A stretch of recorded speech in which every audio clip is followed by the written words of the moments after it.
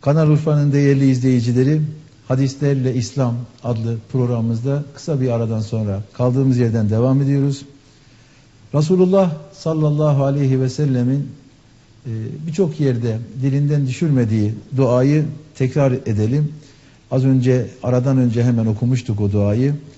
Dua niyetiyle inşallah bir daha Allah'ım huşu duymayan kalpten sana sığınırım. Allah'ım kabul edilmeyen duadan sana sığınırım. Allah'ım doymak bilmeyen nefisten sana sığınırım. Ve yine Allah'ım fayda vermeyen ilimden sana sığınırım. Bu dört şeyden sana sığınıyorum. Kıymetli hocam. Tavafta da bu duayı çokça yaptığımızı hatırlıyoruz. Evet. Sürekli yapılan bir dua olduğunu biliyorum. Evet. Burada Peygamber Efendimizin özellikle Cenab-ı Allah'tan istediği huşu duymayan kalp. Evet. Ne anlarız buradan? Aslında- İzleyicilerimize mesajımız ne olabilir? Huşu Evet. duymayan kalp. Zaten bu hadis-i şerifinde ifade buyurduğunuz gibi Peygamber aleyhissalatü vesselamın e, sıkça yaptığı meşhur dualardan bir tanesi. Evet. E, bizim de onun ümmeti olarak zaten dualarımızda e, tavsiye edilen e, duaların ayet-i kerimelerden ve Peygamber aleyhissalatü vesselamın e, hadislerden seçilen dua. Çünkü bu duaların daha e, makbul olacağı e, ifade edilir. Bu hadis-i şerif hem bir dua aslında bize, biz ümmete, biz müminlere e, bir e, dört tane çok önemli mesaj verir. Evet. Birinci mesaj kıymetli hocam. Allahümme inni a'udhu bike min kalbin la yakşa. Huşu e, duymayan kalp. Huşu duymayan kalp e, kalbi yaratan e, zattan ürpermeyen, Ürpermeyen. e, ona e, saygı duymayan bir kalp. Resulullah Aleyhisselatü Vesselam aslında kalbi huşulu bir kalpti. Ama burada e, bize öğretiyor. Yani bizim e, bu konuda gayret etmemizi ve dualarımızda bunu sürekli kullanmamızı. Çünkü kıymetli hocam e, kalpte eğer huşu yoksa zaten tabiri caizse sözün bittiği yerdir. Çünkü e, Peygamber Aleyhisselatü Vesselam başka hadislerden de sözlerden de anlıyoruz ki e, insanın kalbini bir e, merkeze veya bir komutana benzetmiştir. Mesela hemen bu hadis-i şerif e, aklıma geldi. Ela inne fil cesedi mudgaten iza salahat salahal cesedu kulluh ve iza fesedet fesedet cesedu kulluh ela vehiyel kalp. Yani insanda öyle bir e, parça vardır ki e, o düzeldiği zaman, iyi olduğu zaman vücudun hepsi iyi olur. O kötü olduğu zaman, bozulduğu zaman yani bizim hadisimizin de ifade ettiği gibi huşulu olmadığı zaman, yaratıcısına e, saygısı olmadığı zaman, korkusu olmadığı zaman o zaman bütün azalar da bozulur. Bütün azalar da bozuldu mu zaten insan Allah korusun çok kötü bir yola girmiş olur. Allah. Onun için bu hadis-i şerifin e, ilk ifadesi huşu durmayan kalpten. İkinci ifade Sayın Hocam. Ve min duain la yusma. Dua e, Ondan da Efendimiz Allah'a sığınıyor. evet kabul e, olunmayan duadan. E, dua bizim sürekli e, Rabbimizle Allah'la e, iletişim kurduğumuz e, ifadelerimizdir. E, onunla gönlümüzü e, sürekli bağlantılı kurmak istediğimiz e, sözcüklere yansıyan ifadelerdir. Ama kıymetli hocam e, malumunuz olmak üzere e, duanın kabulü için bir takım şartlar vardır. Resulullah Aleyhisselatü Vesselam bu hadis-i şeriflerinde e, kabul olmayan dua yani şartlarıyla yapılmayan duadan Allah'a sığınmıştır. Allah'a sığınılması gerektiğini ifade etmiştir. Şartlarıyla yapılmayan dua kişinin e, yorulmasından başka bir şey değildir. Dua konusu çok geniş. Evet, İlim konusuna odaklanma adına evet, hocam müsaade ederseniz evet, doymayan nefisten ve fayda vermeyen ilimden sana sığınırım. evet. Doymayan nefisten ifadesini de biraz açacak olursak Evet. e, biliyorsunuz insanda ruh olduğu gibi, kalp olduğu gibi bir de nefis vardır. Nefis insanın e, özet olarak istek ve arzularıdır. Eğer insan e, e, yaratıldığını, kul olduğunu e, unutarak, e, efendim e, İslam e, dairesinden uzaklaşarak nefsini e, frenlemezse, gemlemezse, o zaman o nefis e, ihtiraslara, hırslara kapılarak e, her türlü felaketi, tehlikeyi yapabilir. helal haram çizgisini kaybeder. Kendisine de başkalarına da zararlı olabilen bir yaratık durumuna düşebilir. Onun için bu da çok e, sakıncalı bir durum olduğu için Peygamber aleyhissalatü vesselam doymayan nefisten kendisi sığındığı gibi Rabbimizin bizim de sığınmamızı tavsiye etmiştir. Peki fayda vermeyen ilimden insan bir bilgi edinse, ilim yoluna girse, Evet. işte ilk okuduğumuz hadiste ilim yoluna girenin Evet. Allah cennete yakınlaştığından bahsediyor. Evet. Peki cennete yakınlaşma adına ilim yoluna çıkan ve ilim elde eden birinin fayda vermeyen ilimden o ilim fayda vermeme durumu da söz konusu olabilir mi? Benim Tabii ki. sorum bu olacak. Evet tabii ki fayda vermeme, fayda verebilme, verme durumu olabileceği gibi vermeme durumu da olabilir. Ki bunun e, tarihte e, mesela örnekleri çoktur. E, ilimle ilimin faydalı olmaması durumu mesela bunu basit bir şekilde bu hem e, dini ilimlerde olabileceği gibi dünyevi ilimlerde de yani bir ilim nasıl faydalı olmaz? Uygulanmadığı zaman faydalı olmaz. Evet. Örneğin mesela e, bizim e, sürekli karşılaştığımız büyük şehirde yaşıyoruz. Trafik var. E, trafikle ilgisi mesela araç kullanan az çok trafikte uyması gereken kuralları e, öğreniyor, biliyor. Evet. Bu da bir bilgidir. Kırmızı ışıkta duracak, işte sağ şeritte, sol şeritte ne zaman geçecek, hız limiti ne olacak bunlar hepsi zaten levhalarda da belirtilmiştir. Bu bir bilgi ama bu bilgiye uymayan bir trafik sürücüsü yani bilgisini uygulamaya yani biz buna amel diyoruz. Amele yansıtmadığı sürece bu faydasız bir bilgi olacaktır. Evet. Bu mesela hem e, dediğimiz gibi dini konularda mesela e, içkinin haram olduğunu hemen hemen bilmeyen insan yoktur Müslüman olarak düşündüğümüz zaman. Bu bilgi olduğu halde bile bile bir Müslüman e, Allah korusun içki içmeye devam ederse onun bildiği o bilgi faydasız bir bilgi olmuş olur. Artı artı zarar veren bir bilgi de olmuş olur.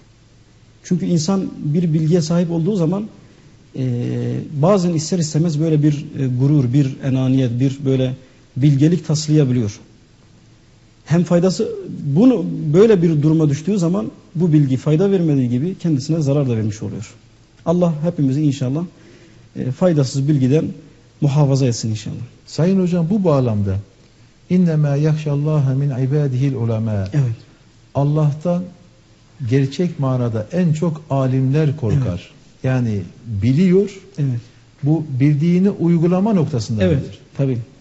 Yani Allah'ı çok bilen insan var ama e, o bilgiyi o bilgiyi uygulama sahasına koymadığı zaman veyahut da o bilgiyi e, içselleştirmediği zaman e, Allah'tan yani mesela çok alim var.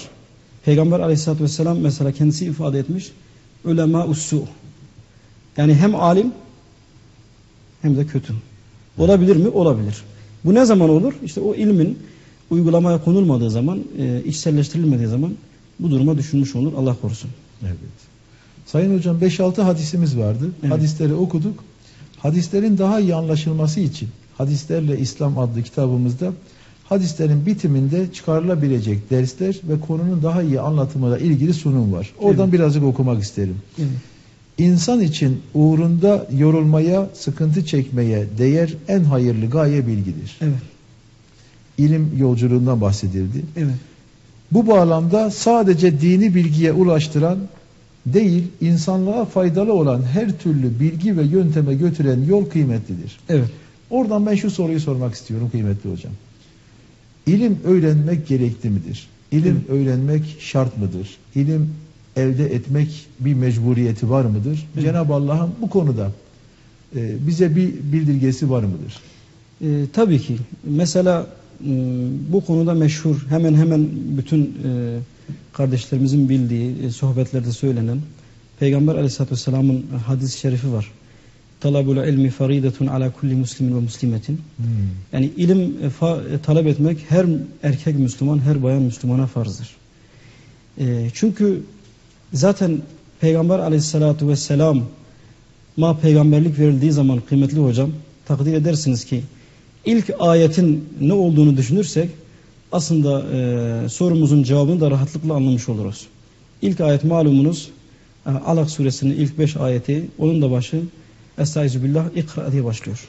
Oku. Rabbimizin peygamberimizi peygamberlikle görevlendirirken insanlığı e, o e, cehalet bataklığından e, kurtarmak amacıyla Kur'an-ı Kerim'i peygamberimize gönderirken ilk mesajı oku yani bilgi sahibi ol, öğren.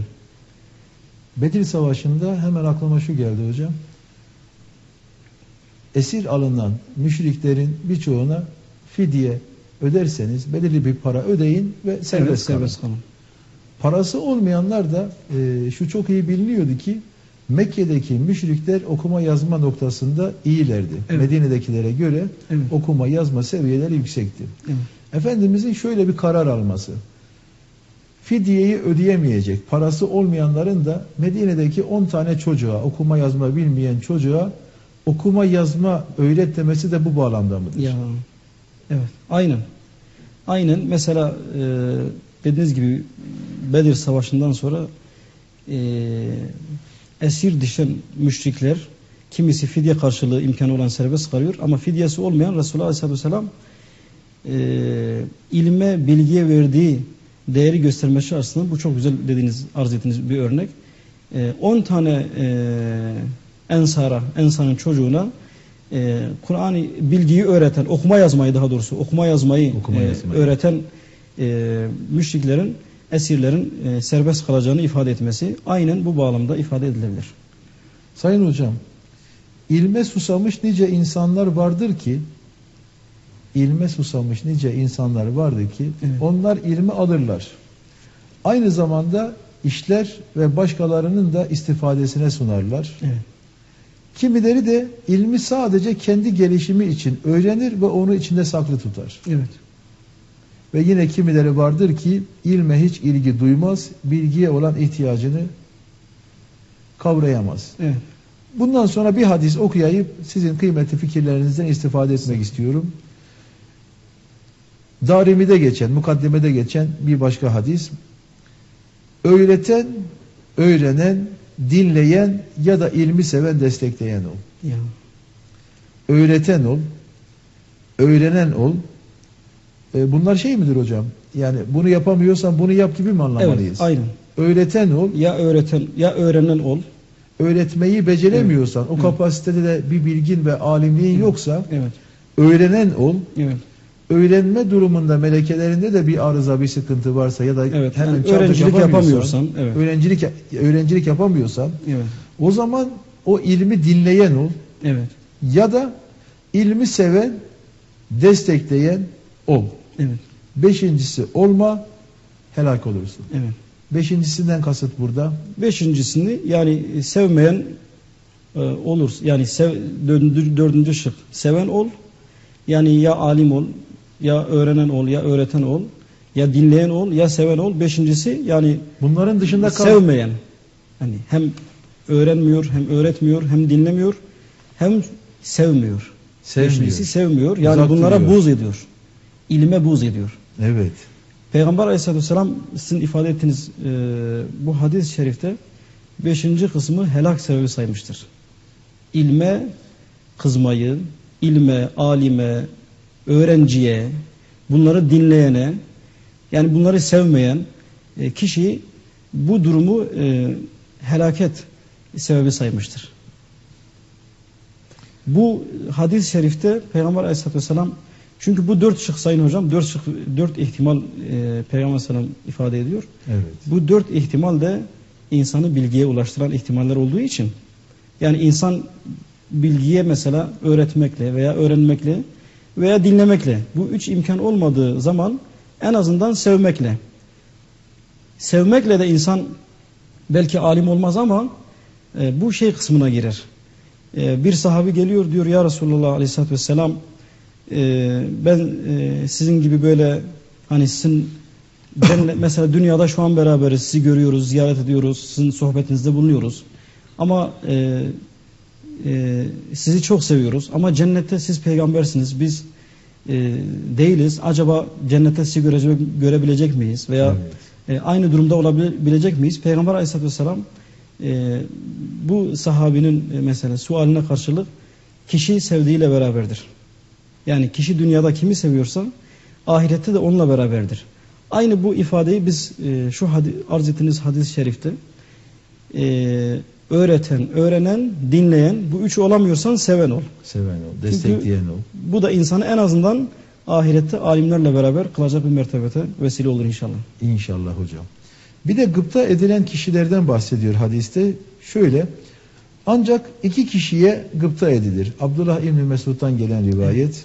Onlardan biri Allah'ın kendisine mal verdiği ve hak yolunda o malı harcamasına imkan tanınan kişi. Evet. Buna gıpta edilir diyor. Evet. Bir de Allah'ın kendisine hikmet verdiği, ilim verdiği ve onunla hüküm veren ve onu başkalarına öğreten kişi. Evet. Peygamber Efendimiz Aleyhisselatü Vesselam bir ilim öğreten kimseye onların sevabından bir eksilme olmaksızın öğrettiği ilimle amel edenlerin kazandıkları sevap kadar sevap verilir. Evet. Meşakkatli bir yolculuk. Evet. Başlarken sıkıntı olabilir. Ee, maişet geçimi sıkıntıları olabilir. Ama ilmi elde ettikten sonra Allah'ın verdiği o ilmi başkalarına aktararak Evet. Sonunda da sanki Peygamber Efendimizin bir mesajı, bir müjdesi e, öğrettiği ilimle amel edenlerin kazandıkları kadar onlara sevap verilir buyruluyor. Evet. Benim soracağım soru şu. Evet, ilim var, öğrenene büyük mükafatlar vaat ediliyor. Evet. İlim arasında fark var mıdır? Daha doğrusu bilgiler arasında fark var mıdır? Allah'a götüren ilimler var. Evet. İşte teknolojik ilimler var. Biraz Evet. daha güncel konuşacak olursak Evet. teknolojik olarak insanların işlerini kolaylaştırmada Evet. e, yol yapma olsun, bir köprü yapma teknolojisi olsun, bir Evet. gemi yapma teknolojisi olsun. Evet. Bunlar arasında bir fark var mıdır? E, ya da işinizi kolaylaştırma adına bir bilgiydi. Belki bunu teyit olur mu olmaz mı? E, Osmanlı eğitim sisteminde Evet. Belirli bir yaşa kadar, o yaş tam bilmiyorum 12, 13, 15, Evet. o yaşa kadar tamamen dini ilimler. Evet. Bu dini ilimleri verdikten sonra hani alim derecesine gelir ya da gelmez Kur'an'la ilgili, hadisle, ayetle, tefsirle bunlardan sonra diğer ilim, o az önce saydığımız beşerin de istifade edeceği tıp ilmi, Evet. e, coğrafya ilmi, astronomi, Astronomi. ilmi gibi. Evet. Fizik ilmi. Evet. Bu bağlamda düşünecek olursak bilgi arasında fark var mıdır? Az önce bütün Müslümanlara farzdır. E, hadisti galiba o. Evet. Onu okumuştunuz. Bu Evet. bağlamda sorumu ben öyle soruyorum hocam. Yani şöyle hocam bilgi arasında e, şöyle bir fark olabilir. Hani e, dini bilgiler belki bizi mesela daha çok e, ahirete yaklaştıran, daha çok böyle e, Allah'la bağımızı güçlendiren e, ilimler olduğu için belki bu yönden bakıldığı zaman e, o önde olabilir. Ama şu e, faydalı olan dünyevi müsbet ilimler dediğimiz işte tıp ilmi dediniz, e, astronomi dediniz, fizik dediniz, fen bilimleri dediniz. E, bunlar da eğer e, insanı e, Allah'a ulaştırıyorsa veya e, Müslümanların, insanların e, hizmetine e, sunulacak bir şeyler üretiyorsa bu bilgiler de elbette bunlar da değerli bilgilerdir. Yani bunları ötelemek e, hakkımız, e, ş- şeyimiz olamaz.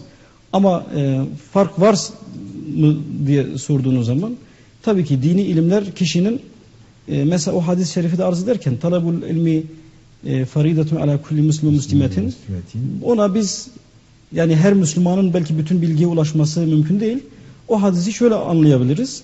Yani kişinin e, hal ilmi kendisine dini Lazım veya olacak. dünyevi lazım olacak şeyler hakkındaki bilgi sahibi olması farzdır. O zaman şöyle bir şey denilebilir mi? Kendisine yetebilecek derecede ilmi bilmesi. Tabii. Kendi yaşantısını, dini Evet. yaşantısını Ve kolaylaştıracak dünyevi. derecede Ve dünyevi. ve dünyevi yaşantısını kolaylaştıracak derecede Evet. kendisiyle yaratıcısı arasındaki ilişkiyi düzenleyebilecek şekilde Evet. bu duadır, bu ibadettir. Evet. Bunları bildikten sonra diğer Evet. insanların da Faydasına olacak. faydasına olabilecek tıp Evet. ilmi, e, matematik ilmi, Evet. e, daha birçok ilimden Evet. yani bir o zaman öncelik burada olup Evet. çünkü ben şunu anladım. Eğer Allah'la arası iyi değilse ve o ilme sahip değilse Evet. dua noktasında, ibadet noktasında bu ilimleri elde etmemiş ve uygulamıyorsa Evet. sadece insanların faydalanacağı şeylerden alacağı sevap ya da mükafat Nakıs Sınırlı- olacak, sınırlı, sınırlı olacak. Evet, sınırlı olacaktır. Az olacak gibime geliyor hocam. Aynen, aynen. Sınırlı olacaktır. Peki sayın hocam. Bir hadis daha vardı. Alimin ölümü alemin ölümü gibidir. Evet, Sayfa 382'deki hadis. evet, Kuşkusuz Allah ilmi kullarının arasından çekip almaz. evet. Kuşkusuz Allah ilmi kullarının arasından çekip almaz. Bilakis alimlerin vefatıyla onu alır ve sonunda hiç alim bırakmaz. Evet, İnsanlar da cahil kimseleri önder edinirler. Bu cahillere bir takım sorular sorulur. Onlar da bilgisizce fetva verirler. evet, Böylelikle hem kendileri sapar hem de insanları saptırırlar. evet.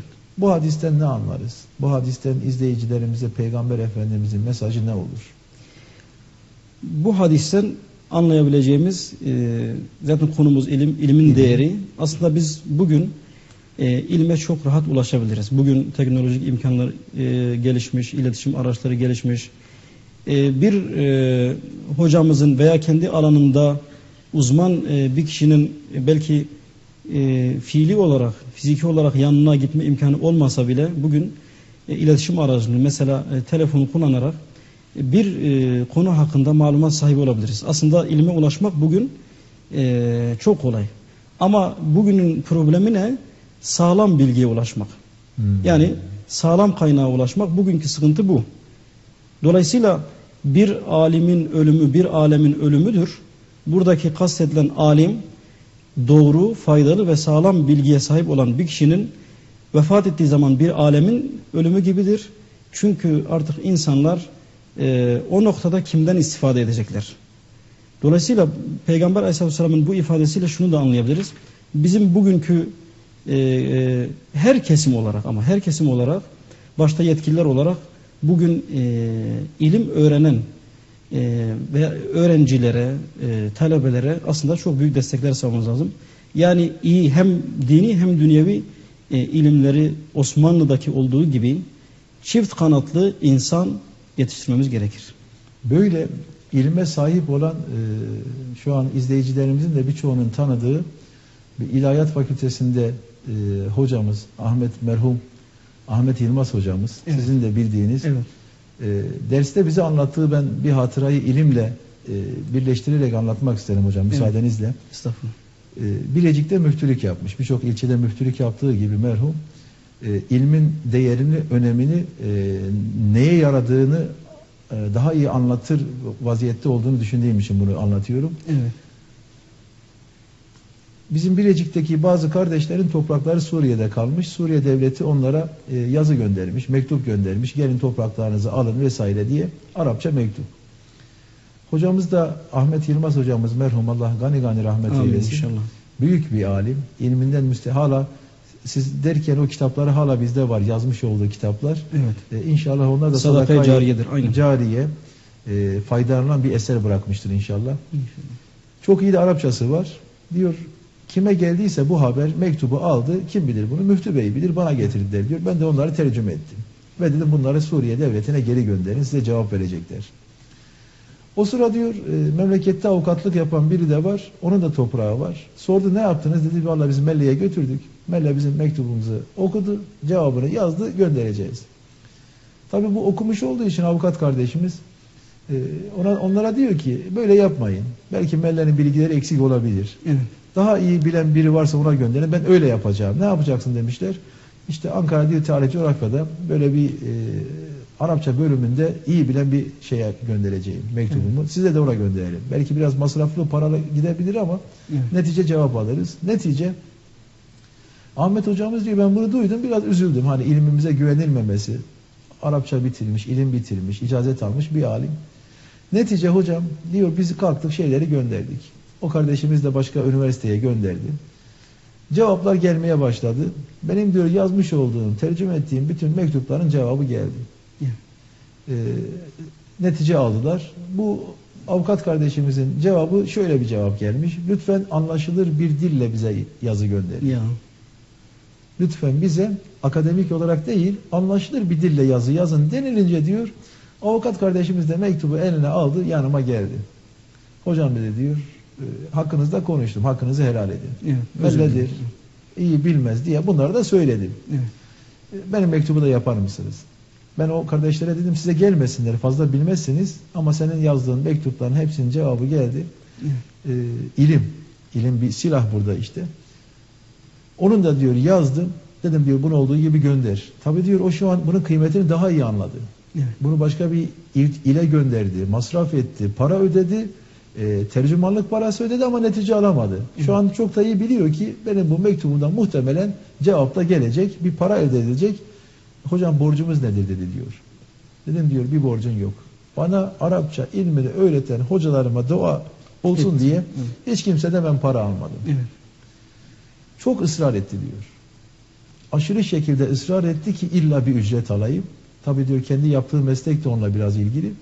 Ben de diyor çok ısrar ettim, inat ettim ki almayayım ve almadım. Hocam dedi diyor sayın müftüm illa ki bir gün seni yazıhaneme de beklerim.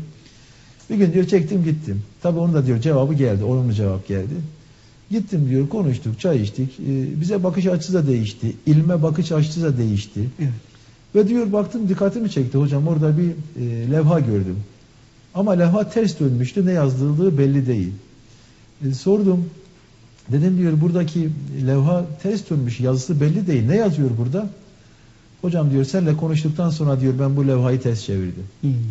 Şu an diyor daha da merak ettim. Onu çevir biz de görelim. Levhayı diyor çevirdi okuduk. Danışma ücrete tabidir. Hmm.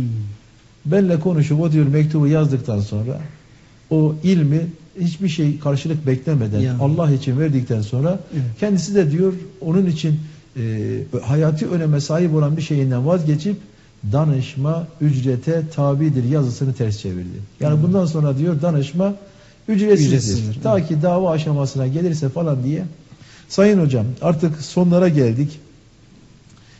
Cennetül Baki'de 10 bin sahabeden bahsedilir. Evet. Veda hutbesinde 100 binden fazla sahabe olduğu bilinir. Evet. Son artık son dakikaları şey yapıyoruz. Evet. Allahu alem sahabe-i güzin efendilerimiz dünyanın çeşitli bölgelerine ilk ifadeyi de söylemiştik. Naddarallahu. Allah onların yüzünü ak etsin. Amin. O şeye de girebilmek açısından belki de e, dünyanın çeşitli yerlerine dağılıp bu ilmi vermeye çalışmışlar. Evet. E, İnşallah onlar da o kapsamdadır. Evet. E, Son cümlelerinizi bu konuyla ilgili, ilimle ilgili. Yani biz e, kıymetli hocam mesela bizim en büyük örneğimiz, rehberimiz, önderimiz Hazreti Muhammed sallallahu aleyhi ve sellem en büyük öğretmenimiz o. Bize e, e, ilmi, İslam'ı, hakkı, hakikati, güzellikleri öğreten o.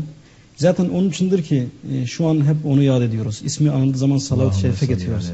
Hakeza onun yolunu takip eden sahabe güzin efendilerimiz.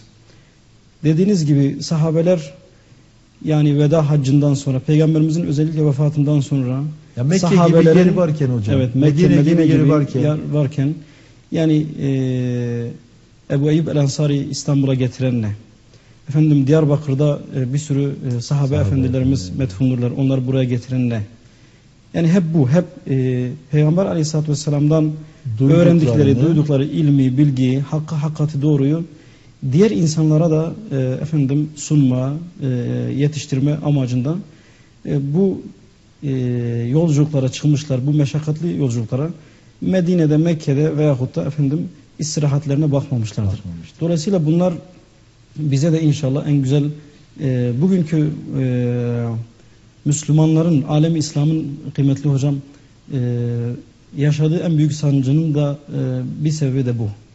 Yani e, e, ilimle e, ilimle inşallah Müslümanlar tekrar bir araya gelecektir. Bugünkü sıkıntılarımızın çoğu cehaletten. Güzel e, bir alimin güzel bir ifadesi var onunla e, bitirmek istiyorum. Diyor ki e, kendi dönem yani yakın bir dönemde bunu söylemiş.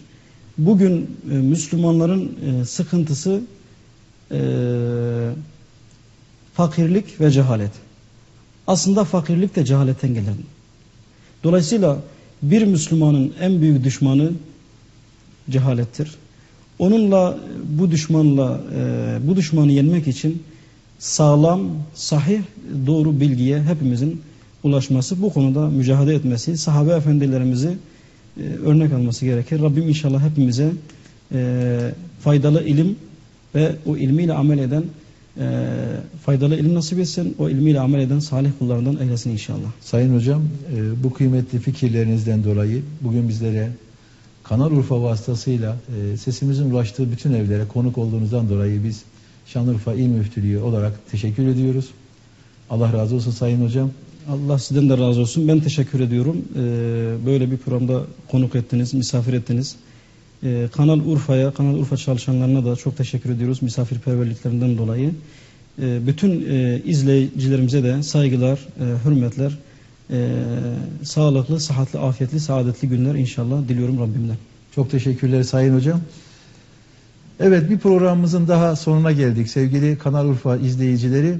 Ee, Rabbimiz nasip ederse haftaya yine aynı gün aynı saatte çarşamba 14.30'da e, başka bir konuyla hadislerle İslam adlı eserimizden başka bir konuyla tekrar huzurlarınızda olmak dileğiyle sevgiyle kalın Allah'a emanet olun efendim.